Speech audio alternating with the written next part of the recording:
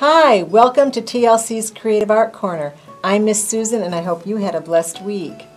Today we are going to learn how to draw an object on a 2D surface to make it look 3D. The object that we're going to do can either be realistic or can be abstract. Now here are some examples of what this is. This is called optical art. Now this first one, if you look at it, it's parallel lines that are, you know, made into boxes with a circle in the middle. And the way the lines are curved, convex, and concave in the middle of it, it gives the illusion, you know, of movement or of shape.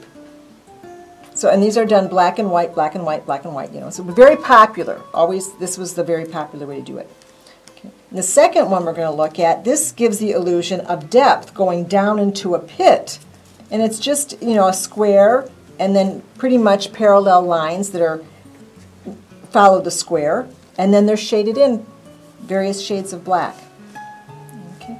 And then this third one is done with contrasting colors and wavy lines. And you can see with the shading in the middle, it's lighter in the center and then it gets darker at the sides and then the concave and the con convex and the concave curves gives this whole thing movement and the illusion of depth and stuff.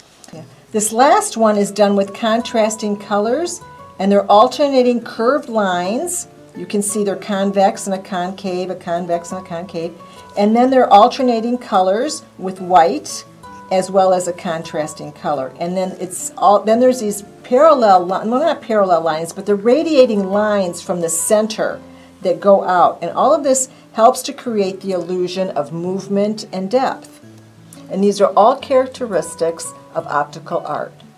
Now today we are going to try to make our hand rest on the paper. Now you can also try a circle or a box, and here's an example. Here's a box that's done. This is just done with pencil. So that's one way you can do it, and just do it with shading. And we'll get into shading in another lesson. And here's another one that is done with just colored pencil. As you can see, there's two intersecting circles, and then they're just alternating colors of red and green, which are complementary colors. Yeah, and then it's opposite here.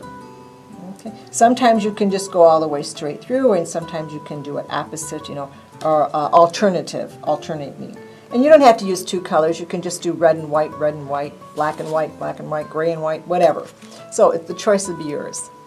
So what materials are we going to need today? Well, the first thing we're going to do is protect our surface. This is not a messy project, so we don't need to wear an apron. You're going to need sketch paper or copy paper, A4 is fine, and you can also use a smaller sheet because this can get tedious after a while.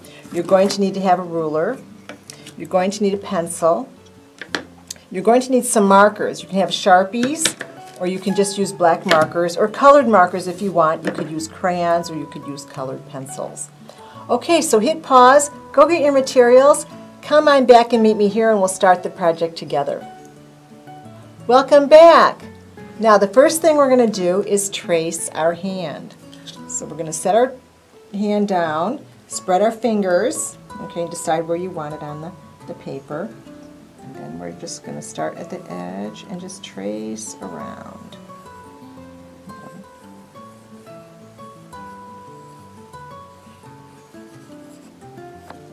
Okay, so there's my hand. And once you've got your hand done, you're going to take your ruler if you want, or you can do these freehand.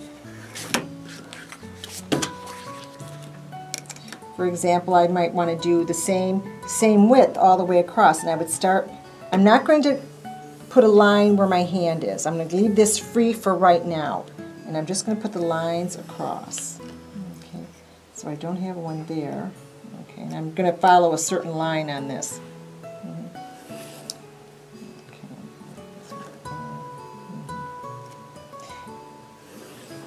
Another way to get a, a, a, thing of depth, or the a feeling of depth, is to have wider lines to skinnier lines and then come back out, and you'll get this wavy effect as well. Okay, now for the rest of this, I'm just going to do it freehand.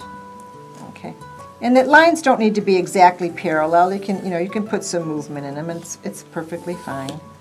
Okay, and you can have some closer together, farther away than others. Okay, so you just continue this process. Okay, until you're finished. So you go all the way up. And up here by the fingers, you're to, um, that one sort of doesn't go through there yet, so there. And then this one, skip the hand, I'm to go through the thumb, and then here. So that's what you're going to do all the way up the page. Okay.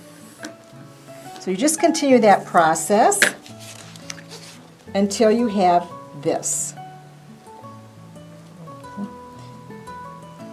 Now when you've got all your lines across, the next thing you're going to do, now I did these lines earlier with um, a, a fine point Sharpie, but you can use a pencil, it doesn't matter, not important.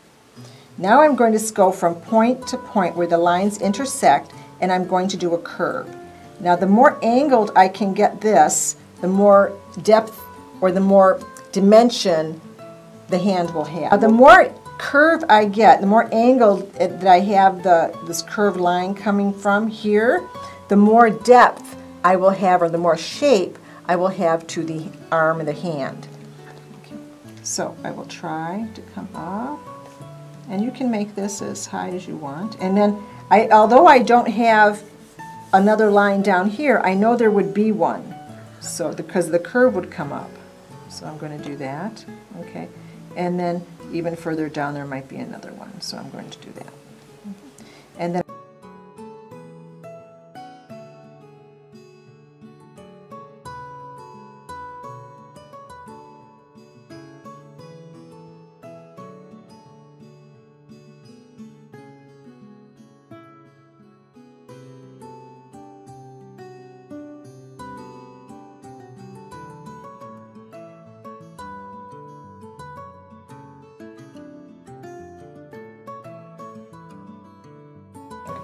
Once you reach this point, you're going to take your black marker, or if you don't want to use black, you can use any color that you want, or you can use crayons if you want, or you can use colored pencils if you want. It's up to you. But I'm going to use a black and white marker because I'm going to do mine a little bit more traditional.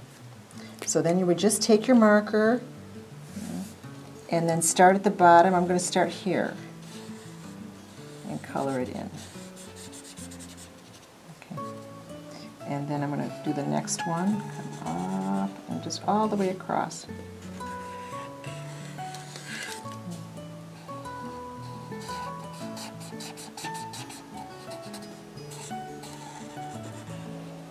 So I would go line by line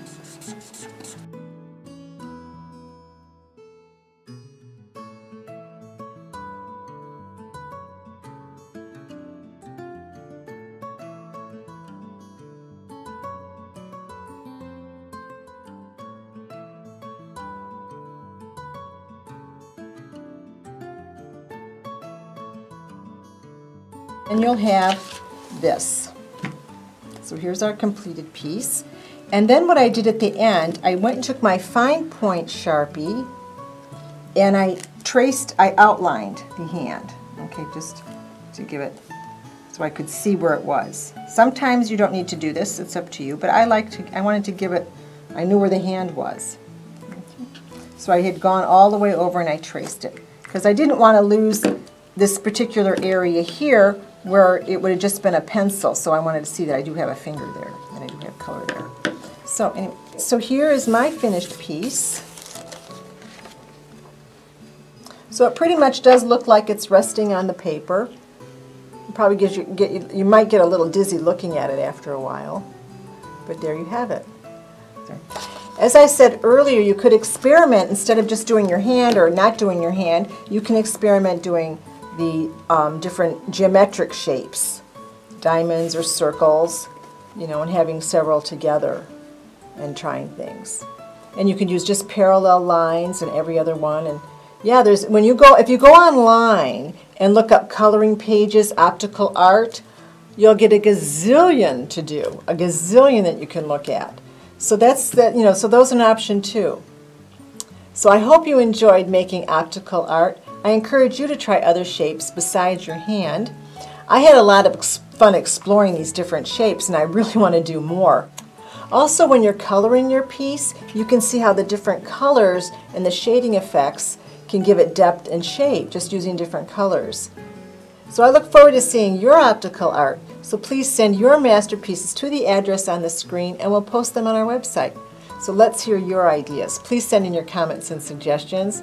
So until next time, be safe, stay healthy, and be a blessing to others. Bye-bye.